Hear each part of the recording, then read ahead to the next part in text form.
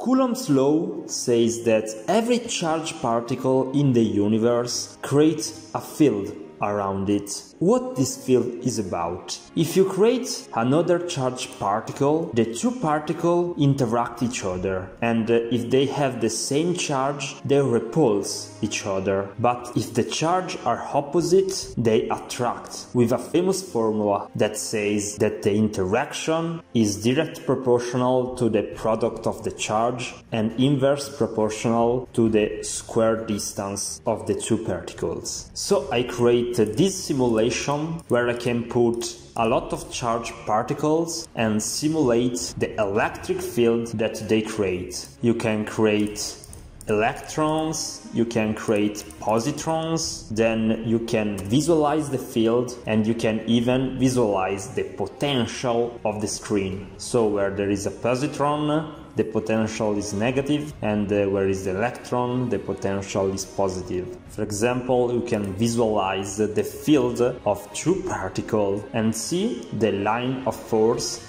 that exits from one particle and enter into the other one and then the two particles come close come close and uh, you can find the link in the description to download this simulator. I hope you enjoy it. See you on next video.